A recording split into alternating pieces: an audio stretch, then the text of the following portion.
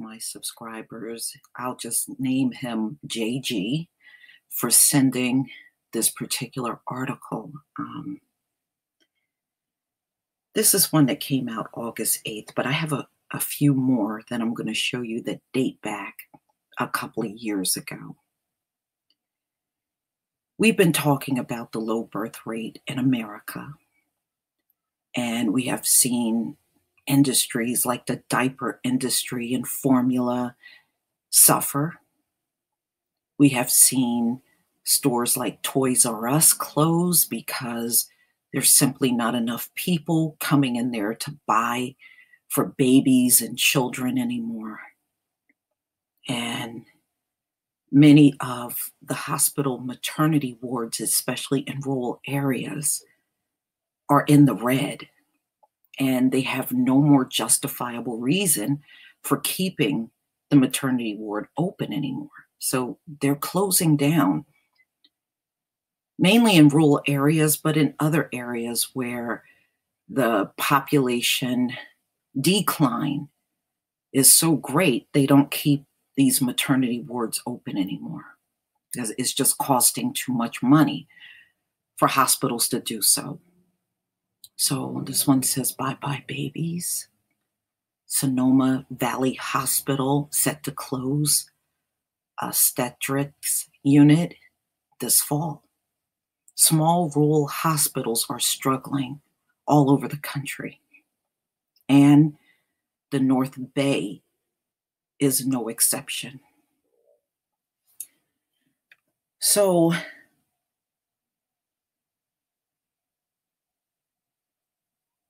they have part of this hospital now up for sale.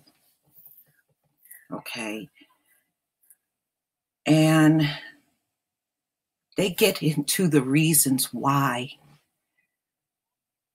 these closures have to happen. So it's set to close in July. It's due to high costs of operating the unit, and they've been in the red for several years a drop in local births combined with changes in economic healthcare delivery have contributed to the deficit. All right. And this is what the hospital CEO is saying. Sonoma is increasingly a community of elders. And of course, we know elders don't give birth. Fewer young couples are starting families here in part because of the high cost of living. Births are down nearly 50% since 2010.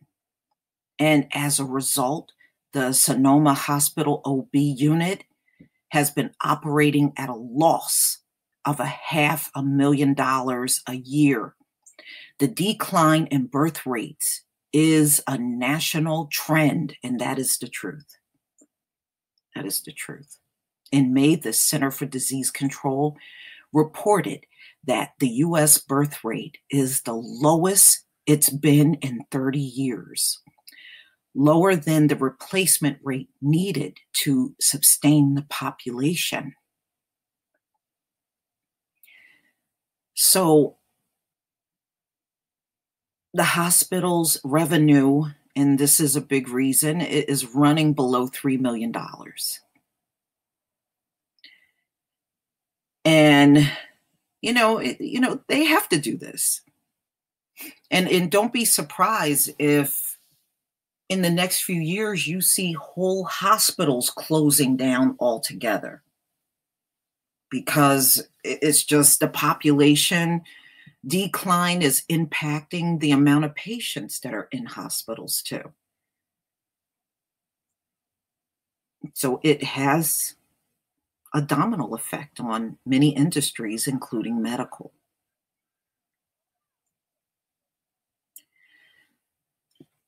So I want to show you some of the other articles, and that's a good one. And this one came out in Politico Magazine. Rural hospitals are dying, and pregnant women are paying the price.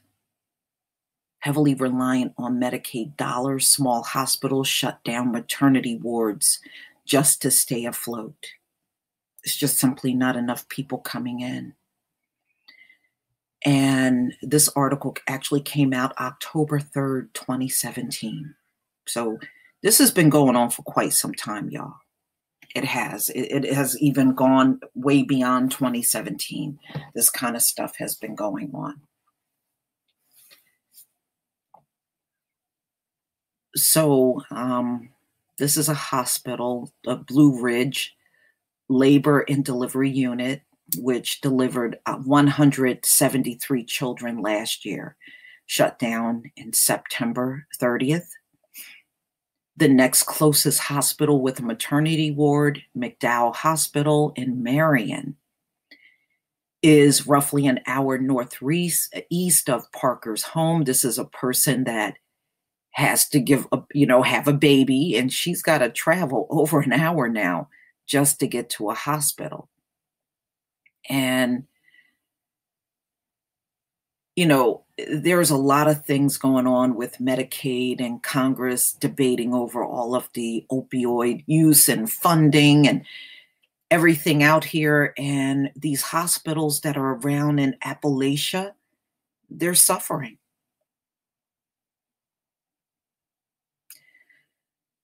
And they were talking about another hospital, Angel Medical Center in Franklin, uh, Franklin, North Carolina, shut down its maternity ward in July. It was losing um, $2 million a year.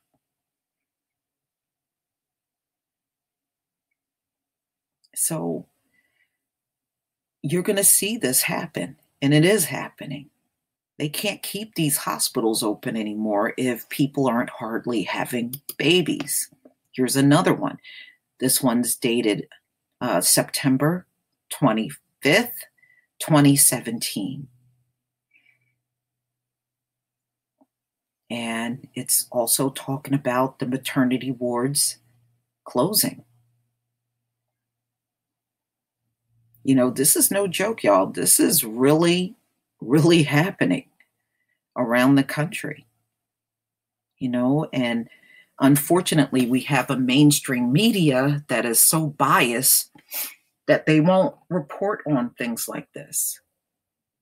You know, they would rather sit around and report on things that really, in my opinion, it should not concern anybody. But this sort of thing, this is what should concern people you know, because you have people in these rural communities with low populations, and the few people that are pregnant, they may have to travel an hour or more just to get to the nearest hospital now. You know?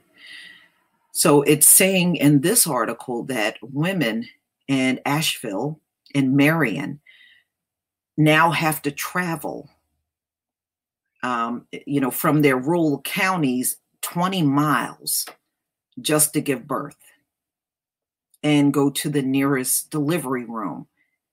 That's not because they have no hospital uh, maternity ward within their area. Hmm.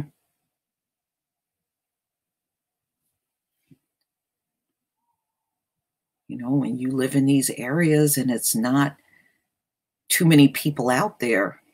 You know, what I can see, ladies and gentlemen, a lot of these people are going to move out of these areas. They're not going to have a choice. Many of these rural communities, not only are their hospital, um, maternity wards closing, but these communities are struggling worse than you can imagine. Being that it's not much population growth going on, they're not around any good businesses anymore. And it's a lot of unemployment, drug use going on there. So I can imagine in the near future, very, very near future, it's not even going to make sense to even live in these rural communities anymore. They're not near anything. and the communities don't have any money. I was reading how many of these rural areas, the politicians are saying they literally have no money in these communities. So they can't even have, some of them are so poor and broke, they can't even have a police department um, running for seven days a week some of the rural areas got police departments that only work Monday through Friday. And on the weekends, they don't have a police department working. Or they'll try to use police from neighboring towns to come in and try to support the people on the weekend. That's how bad it is in those areas. Here's another one labor delivery rooms closing at rural hospitals and this is talking about um, you know studies that are being done on the facilities um, to access labor and delivery facilities are declining and this is creating a problem for some of the 500,000 women who give birth in rural hospitals every year. Some women are as far as 60 miles away from the nearest hospitals and facilities that they need to go to. Because you know you know you got to go to the hospital every month you know or go to see a doctor every month when you're pregnant. And i mean driving 60 miles that's outrageous.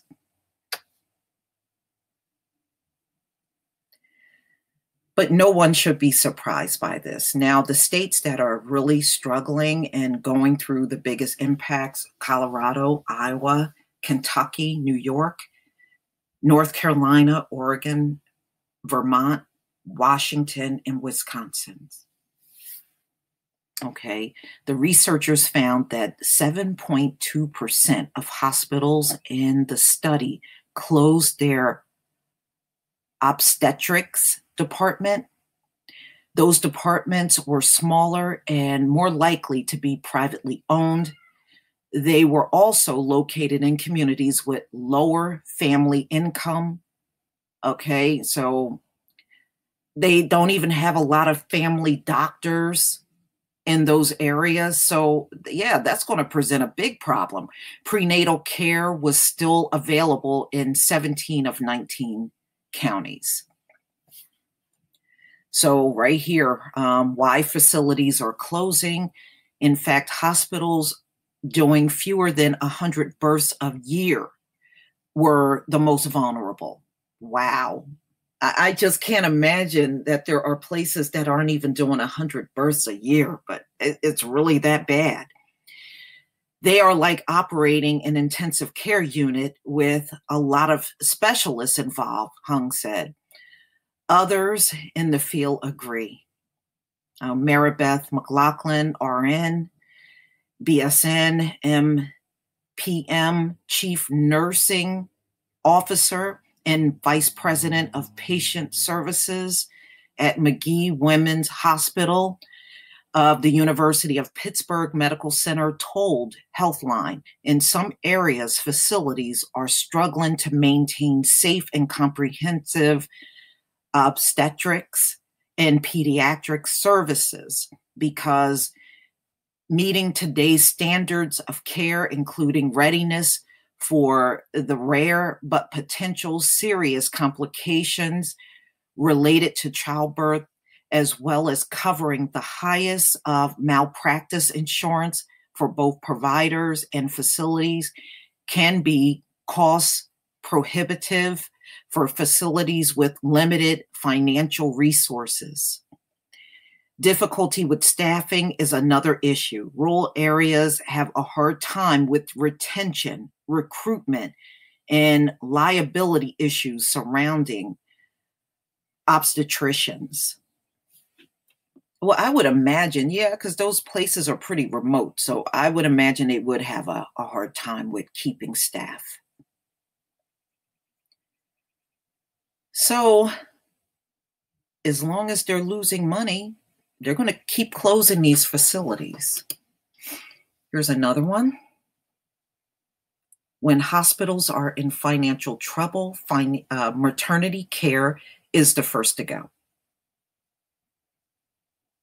A frightening new trend is sweeping the country that could affect thousands of mothers, children, and family, according to the University of Minnesota Rural Health Research Center.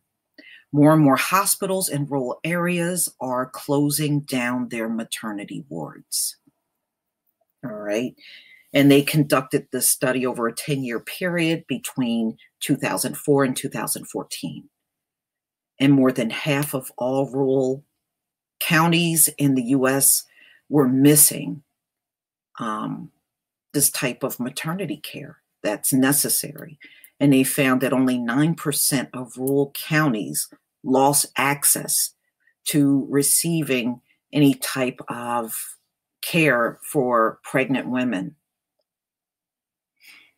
And not surprisingly, the closures affect women living in more rural areas.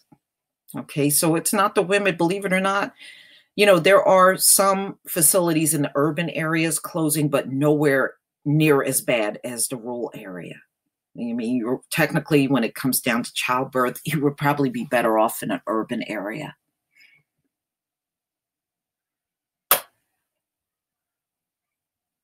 Okay. Now, here's another one.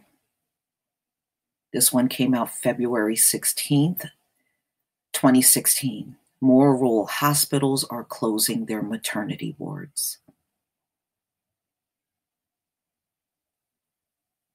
Okay. A few years ago, when a young woman delivered her baby at Alleghany Memorial Hospital in Sparta, North Carolina, it was in the middle of Valentine's Day. So the delivery route um, was routine, but the baby girl had trouble breathing. Okay, so now when a baby is born and having trouble breathing, and you have a hospital that no longer have a treatment center for a baby like that. Now see they had to send this baby to another hospital that had problems breathing wake forest baptist medical center in winston-salem north carolina. So this baby had to go through a 90 minute drive to another hospital for treatment for breathing complications at birth that's pretty damn scary, y'all. That is pretty scary. I mean, I, ooh. So now, because of um, there's fewer pregnant women, the ones that are pregnant in this area either have to go to Winston-Salem, North Carolina, or Galax, Virginia, which is about 30 minutes away by car.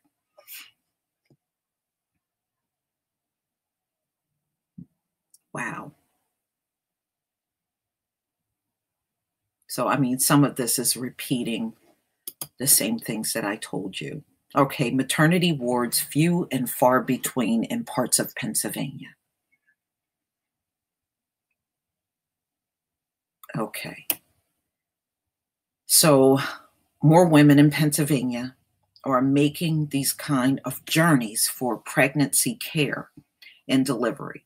According to the State Department of Health annual hospital survey from 2004 to 2014, Pennsylvania lost 28 obstetrics units from a total of 124 a 23% decline. The closures first hit urban centers and were mostly spurred by the consolidation of medical centers under a few healthcare networks. But the decline has branched out to suburban and urban areas, stranding women and forcing them to go miles away now just for healthcare during a pregnancy. Yeah. From northern Allegheny County to Erie, a stretch that ranges from residential to rural, there is no hospital with an obstetrics unit according to the latest health department survey. In some parts of central Pennsylvania, there isn't one in a 50 mile radius, says Lisa Davis, director of the Pennsylvania Office of Rural Health at Pennsylvania State University. Studies have correlated diff, uh, distances from. Um, so, what they're saying is it's distance and poor medical outcomes, access to maternity care is on the decline all around the country in the US. And it's mainly outside of your metro areas. But Pennsylvania, I'm actually not surprised about. There's a lot of rural area over in that state. So I am not shocked that they are struggling with um, finding available maternity wards from those rural areas. Here's another one maternity wards are closing in rural America, leaving pregnant women without care. So, as you can see, this is a huge problem in the country. And this one also came out in September 2017. Okay. A new report from the Huffington Post detailed the closure of maternity wards across the rural South, largely in the last two years, according to the report Mission Health a North Carolina based nonprofit hospital network began closing labor and delivery centers that they operated in the state's rural areas in 2015. So they started shutting down in 2015. Mission Health decision left many pregnant women, some of whom are profiled in the Huffington Post detailed piece, at least 20 miles from the nearest delivery ward and for some, that same distance for prenatal care. Yeah, you know, um, that's another thing. Um, it, a lot of their rural areas do not have a lot of doctors. They do not have a lot of doctors in those areas. Okay, the that 20 mile distance is not only far for a woman in labor, but a potentially hazardous one as well. The roads through the mountains during labor pose a major concern, even without snow. The peaks in this region are the highest in the eastern United States, excerpts for um, except for a few major highways. Such an Interstate 40, uh, most roads weren't built by blasting through or tunneling under these hills. And that's how many of the roads were made in Pennsylvania. When they went into Pennsylvania, Pennsylvania had mountains everywhere. And they actually had to blow through the mountains with dynamite in order to build the roads. And when you go through Pennsylvania, there are just mountains everywhere. There were tons of them before they even had highways. There were even more that they had to blast through. So again, um, you know, you can see right here with the Huffington Post piece, these hospitals are just closing everywhere. So, ladies and gentlemen, start looking for this to happen more and more in suburban areas as well. There's a lot of, even here in New Jersey, there's a lot of suburban towns where there is no population growth at all.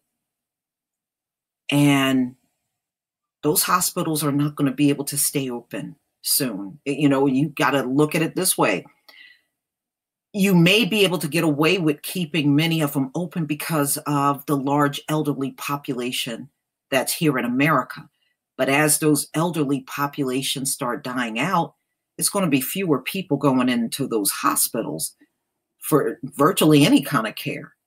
And you're going to see many hospitals as these elderly people die out. You're going to see a lot of these hospitals close right along with them. But please tell me what you think, ladies and gentlemen. Please leave your comment and subscribe. Don't forget to hit on the notification bell, and I will see you on the next video. Peace, family. Thank you